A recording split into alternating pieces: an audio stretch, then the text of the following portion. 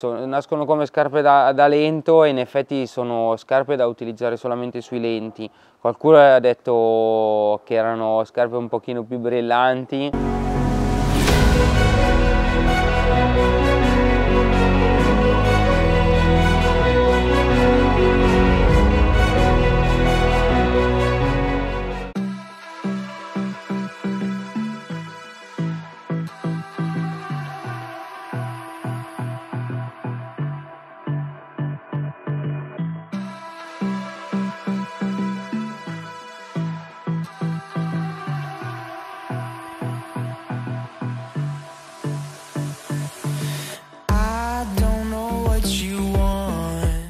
Devo confessarvi, siamo appena poco dopo Pasqua, che eh, per molto tempo sono stata ai margini del progetto Brooks, anche se in realtà dovrei parlare di visione. A parte la vena ecologista, questa azienda si è mostrata negli anni davvero una delle più innovative del mercato, tra l'altro vena ecologista di cui ormai stanno cavalcando tutti i marchi, magari ne parlerò nei prossimi giorni, per il momento vi consiglio di leggere il libro di Bill Gates che ne racconta in maniera dettagliata dove stiamo andando e cosa sta succedendo nel mondo. Dico l'essenza, la ragione di essere di questo marchio è quella di fornire una scarpa ammortizzata che negli anni non è destinata a cambiare, che invece permette a tutti noi podisti amatori, anche quelli che hanno appena incominciato, di utilizzare una scarpa che subito dopo averla provata vi consente di correre senza avere nessun problema e eh, non pensare nemmeno che la scarpa sia ai vostri piedi. Tra l'altro proprio pensando a queste Glycerin 19 sappiate che conviene utilizzare mezzo numero in più proprio se volete evitare di avere pensieri comunque sappiate che ne parleremo più in dettaglio durante il video e proprio per questo secondo me non voglio posizionarmi come una persona che corre forte ma comunque sono un esperto di marketing ci sono comunque tre paradossi che questa Glycerin 19 di Brooks ci porta a analizzare in questo video. Questi paradossi eh, ci aiutano a capire come le aziende stanno evolvendo e se posso do qualche spunto di riflessione a chi ci guarda, sapendo comunque che ci troviamo di fronte ad una delle migliori scarpe presenti sul mercato e che ha una visibilità davvero molto interessante che consiglio comunque a tutti i podisti amatori che hanno appena iniziato a correre. In primo luogo questa Glycerin 19 non è assolutamente cambiata rispetto all'anno scorso, sì è vero è stata adottata una diversa tomaia e eh, è stata aggiunta una maggiore quantità di intersuola, ma l'essenza, quello che rende questa scarpa unica, è proprio quella eh, del progetto iniziale che dicevamo essere quello di permettere a noi podisti amatori di poter correre senza dover pensare alla scarpa stessa. Quindi la nostra recensione di per sé è totalmente inutile, sapendo comunque che nulla è cambiato nel comportamento della corsa e che la value proposition è rimasta fondamentalmente intatta. Paradossalmente sarebbe, senza offesa per nessuno, quasi inutile andare al negozio perché questa scarpa è davvero sostanzialmente equivalente a quella dell'anno scorso. Non vi consiglio peraltro di comprare il modello precedente. Se però avete amato la Glycerin 18 anche questo modello 19 è davvero fantastico. Tra l'altro vi metto qua sotto i link per l'acquisto nel caso in cui vogliate acquistarla online. Il secondo paradosso è queste Glycerin 19 sono tra l'altro le scarpe più stabili eh, neutre presenti sul mercato sono così stabili che vi permettono di correre senza davvero andare verso la tangente anche se magari siete dei piccoli iperpronatori. E qui il podista di Instagram, quello che mi tempesta di domande a cui fondamentalmente non sarei in grado di rispondere, mi chiederà ma eh, non è stato sviluppato anche il modello GTS, quelle cioè con il supporto antipronazione, prendo le prime oppure le seconde, ci dedicherò un video prossimamente, ma sappiate che il secondo paradosso è che esattamente il primo modello è davvero già assolutamente molto stabile, quindi la versione eh, GTS è quella che sostanzialmente consiglia davvero ai pronatori eh, molto accentuati. Per gli altri sappiate che le Glycerin 19 vi consentiranno di correre comunque in maniera molto stabile. Della stabilità si parla nel libro Athletic Movement Speed fin dalla pagina 4 che per un libro di 350 pagine è sicuramente una dimostrazione dell'importanza di questo concetto. Sappiate comunque, se non potete venire ai miei corsi di Livigno, che soltanto se siete davvero eh, pronatori molto accentuati vi consiglio di utilizzare queste GTS mentre per tutti gli altri già il modello 19 funziona davvero benissimo. Il terzo paradosso, tra l'altro sbagliato scarpa dell'azienda di Seattle, è quello che l'azienda dice che la scarpa è la più ammortizzata tra il catalogo. Sappiate però che aggiungendo una quantità di ammortizzazione si aumenta l'instabilità e di conseguenza non sono davvero convinto che questa cosa vada a vantaggio di noi podistamatori. Per il resto parliamo di una scarpa di 289 grammi di differenziale 10, hanno un intersuola come al solito DNA Loft a cui sono stati aggiunti 4 mm di ammortizzazione, la Tomai Engineering Mesh, maglia traforata abbastanza elastica, più che altro davvero molto avvolgente soprattutto nell'avampiede e nel mesopiede, di conseguenza secondo me fin troppo vi consiglio, come già dicevo prima, di comprare magari mezzo numero in più, poi vedremo cosa ci dirà Andrea a questo proposito. La linguetta è davvero molto imbottita, così come il colletto, sappiate che questa è una caratteristica tipica eh, di Brooks, l'abbiamo già visto anche nelle Ghost, sono particolarmente interessanti gli elementi riflettenti nel posteriore che vi consentono ovviamente di correre eh, anche durante le serate invernali permettendovi quindi di essere visti magari correndo in città oppure addirittura in una campagna e quindi avere a disposizione questo ulteriore strumento è secondo me un vantaggio competitivo lato Brooks. Per la suola quest'ultima ha una superficie davvero molto ampia, nella parte anteriore sono stati sviluppati sette segmenti eh, separati che consentono di adattarsi ad ogni impatto al terreno e quindi secondo me anche in questo caso Brooks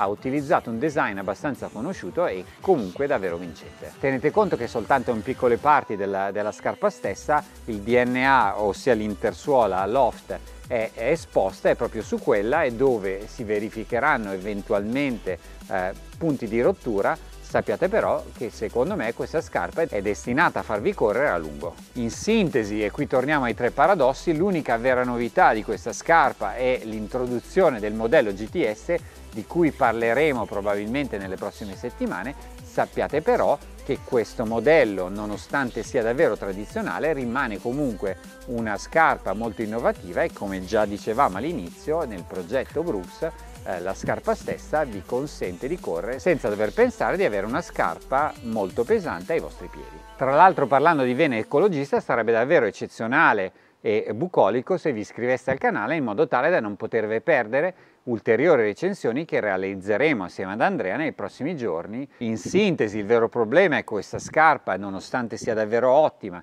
ha avuto solamente dei miglioramenti marginali e di conseguenza il mio ruolo di recensore è abbastanza inutile, quindi lascio la parola al mio amico e prodepodista, dottor Soffientini, il quale, e vi consiglio di guardarlo fino in fondo, ci racconta qualche perla di saggezza relativa a questa scarpa, a chi è adatta e in quali condizioni conviene utilizzarla. Io nel frattempo vado a bermi un coffee, ci vediamo alla prossima, stay strong e keep running.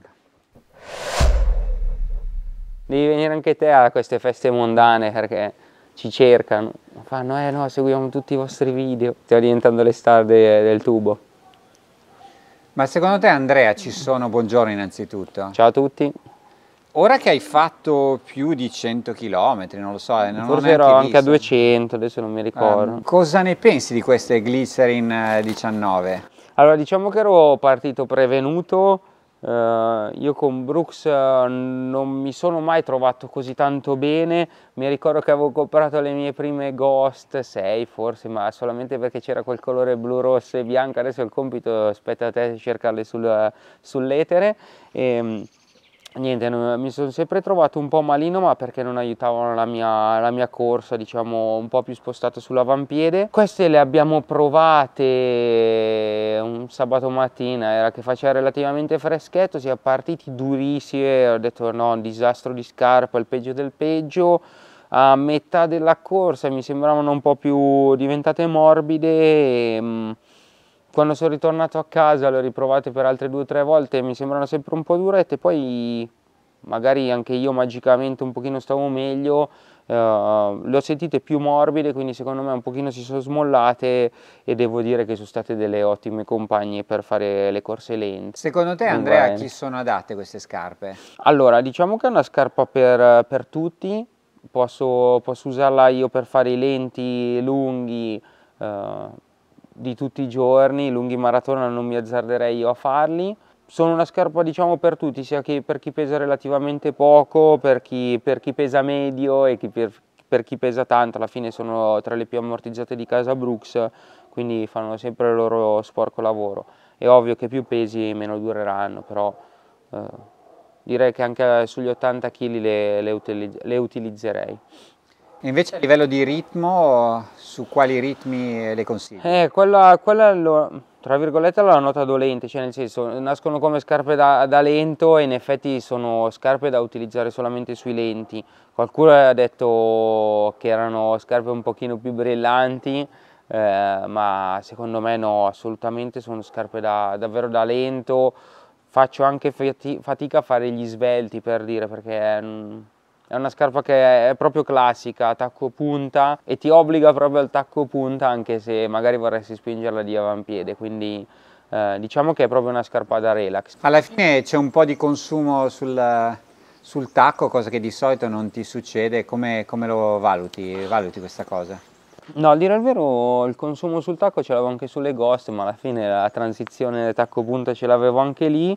Uh, questa forse è un pochino più, più duretta la gomma, sembrerebbe, del battistrada. Mi sono reso conto che quando ero davvero davvero stanco ehm, non era così piacevole diciamo correrci sopra, cioè ti accompagnava per le corse ma non ti, non ti dava quella freschezza che invece andavi a ricercare nella scarpa che per, per dire mi ha dato la, la Invincible, la Invincible quando ero disastrato eh, mi dava il piacere di corsa, invece queste qua quando ero disastrato mi facevano correre il relax, però non mi davano una, una buonissima sensazione. Quasi mentivano le Invincible, mi davano delle, delle, buone sensazioni anche se non le avevo, invece queste qua diciamo che ti aiutano lo stesso a correre quando sei scassato. E invece a livello di stabilità della scarpa sappiamo che come abbiamo detto ci sono due modelli, Cosa ne dici questo modello neutro? Ma guarda, ti dirò anche il modello neutro è molto stabile perché alla fine è una scarpa duretta, cioè duretta, non ha, non ha lo zoom X per dire come la Invincible, non è così tanto larga come la Invincible, quindi eh, alla fine risulta molto più stabile. Devo dire che anche la tomaia aiuta molto perché comunque è la solita tomaia classica di, di Brooks che ti tiene il piede ben saldo sul, sull'intersuola diciamo. E a livello di numero suggerisci stesso numero o mezzo numero in più? C'è, stato chiesto anche perché comunque sembra abbastanza fasciante la scarpa. Eh, infatti questa cosa qua è da valutare, non, non, saprei dirti del numero, sono un po' in dubbio. Le, la prima volta che l'abbiamo provata mi sembra davvero tanto stretta, poi mi sono abituato, quindi adesso non ti saprei dire se prendere un numero in più. Sicuramente quel mezzo numero in più lì non guasta, quindi per dire io al 27,5, un 28 non, non, vi cambia la vita, vi lascia solamente il piede un attimino più, più libero. Eh, poi diciamo che mi ero abituato ormai alle topo ad avere l'avampiede stralargo e stracomodo e quindi eh, diciamo che questa qua che ti fascia un pochino di più sull'avampiede la sentivo adesso. Invece a livello di tomaia cosa, come la valuti? La tomaia è... io l'ho sempre detto che non avevo le scarpe estive, le scarpe invernali, anche se le, le Pegasus 37 poi mi hanno fatto ricredere. Questa forse la metterei nelle scarpe autunnali, invernali, perché hanno una tomaia relativamente pesante. Ripeto, secondo me fa sua, il suo lavoro perché alla fine ti rende il piede stabile, sicuramente non è traspirante come tante altre scarpe per me non è un problema anche perché finire l'allenamento col piede un po' sudato non, non, è assolutamente un grosso problema quindi alla fine sono anche contento di questa tomaia che ti, che ti tiene il piede saldo. E invece a livello di battistrada cosa, cosa ne dici? Ma il battistrada si sta relativamente consumando ma non tantissimo, eh, ha un buon grip sul terreno, eh, non tantissimo sulla pista bianca ma tanto ripeto è una scarpa nata per fare le corse lente, quando fai le corse lente comunque è relativamente salda al terreno, non ti scivola via il piede, quindi diciamo che per quello che è nata fa eh, perfettamente il suo lavoro.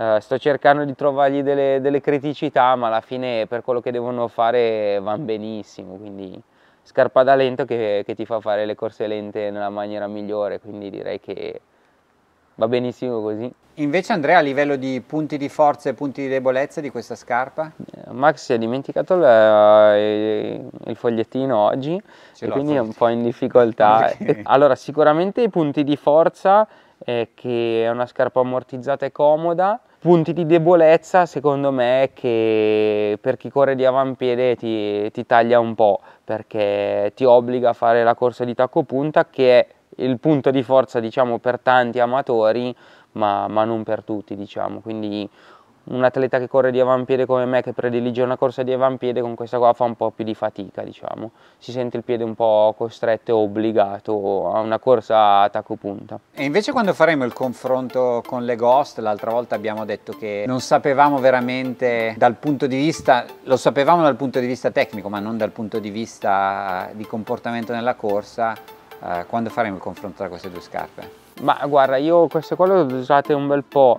le gosse le ho usate un bel po' quindi direi che adesso finiamo questo video e facciamo l'altro Va bene, grazie Andrea, ci vediamo alla prossima. ciao alla prossima